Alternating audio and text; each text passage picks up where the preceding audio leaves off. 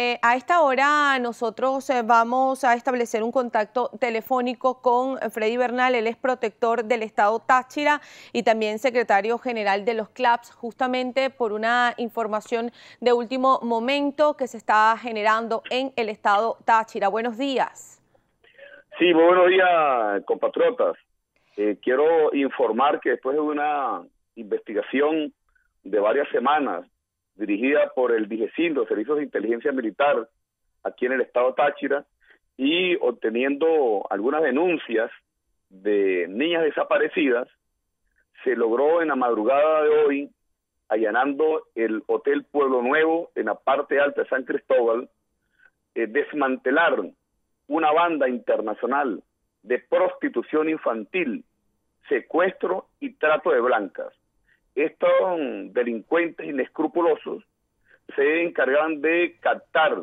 niñas menores de edad para prostituirlas en San Cristóbal y luego venderlas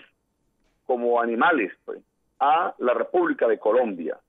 Al frente de esta banda se encontraba una ciudadana de nombre Ámbar Yuleski Roa González, que está detenida. Y además fueron capturados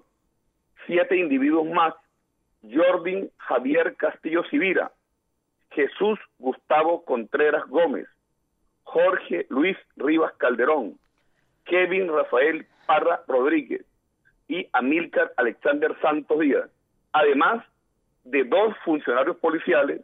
que ya están solicitados por los organismos de inteligencia y con orden de captura de los tribunales competentes. Es importante señalar que al momento de la acción del DIGESIN, fueron rescatadas tres niñas de 15 años que ya habían sido captadas en San Cristóbal y estaban listas para venderla a esa red de prostitución en la República de Colombia. Y estos individuos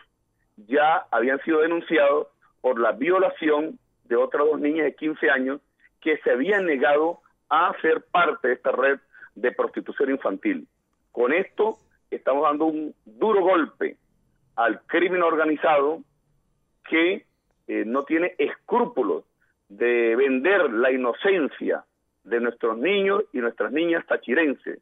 y venderlos, como lo hemos señalado, como que si fuesen animales, a redes de tráfico de, blancas en la República de Colombia.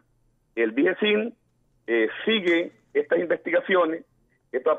esto es apenas la punta del iceberg, ya que la investigación, investigación arroja a otros contactos, a otras redes de delincuentes que se conectan con la República de Colombia y con la República de Brasil. Y por supuesto, se están haciendo los contactos con las autoridades colombianas para hacerle seguimiento del otro lado de la frontera y que las autoridades colombianas pudieran proceder a la detención de la banda que actúa en Colombia y se conecta con Brasil llevando estas niñas captadas en los hogares de el Estado Táchira. De esta manera, bueno, es un golpe duro a la mafia, al crimen organizado, y queremos decirle a los tachirenses que seguiremos, junto con los organismos de inteligencia, el DIGESIN, el FAES, la Guardia Nacional y el CONAS, eh, enfrentando las diversas bandas criminales de narcotráfico, de contrabando de gasolina, de paramilitares, de tráfico de eh, alimentos y sobre todo de proteger a la familia tachirense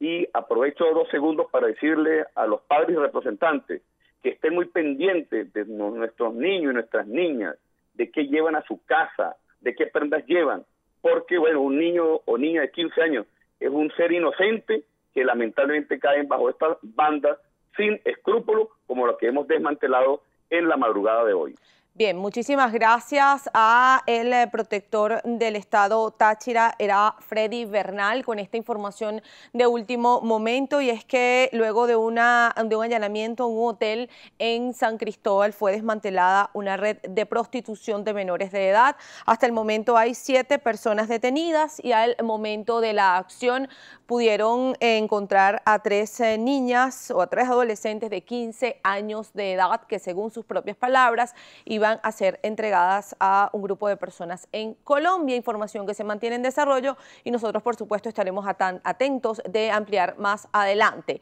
En otras